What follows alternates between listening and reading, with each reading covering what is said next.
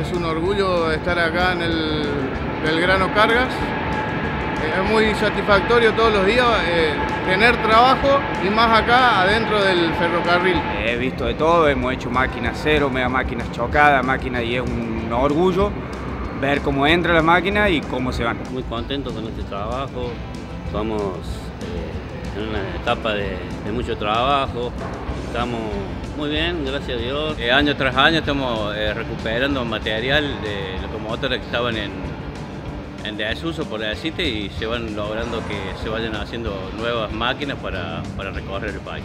La verdad que es un, un gran logro trabajar en este taller que tiene muchos años y, y queremos que siga progresando día a día.